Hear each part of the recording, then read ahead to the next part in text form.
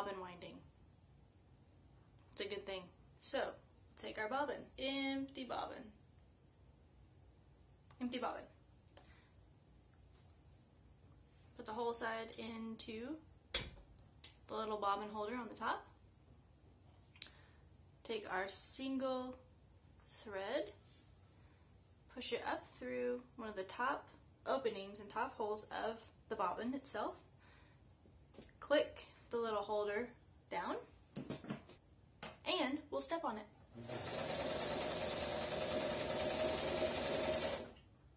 One thing I forgot to mention.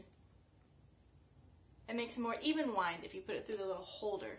It's pretty fantastic. It doesn't take very long.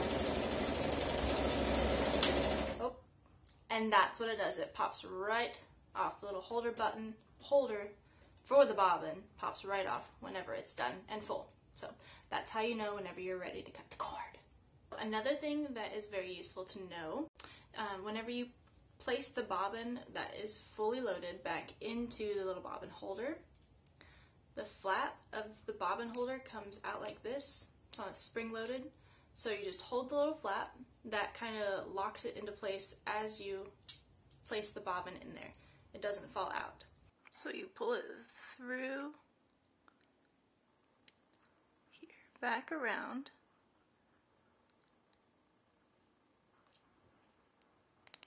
Sometimes you gotta kind of coax it. And it gets held in that tooth.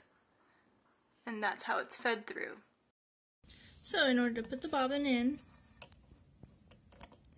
just gotta kind of line the holes up. There is a little catch right there that it sits in. And you can wiggle it around, make sure that it's in there. And that's whenever you know your bobbin is secure.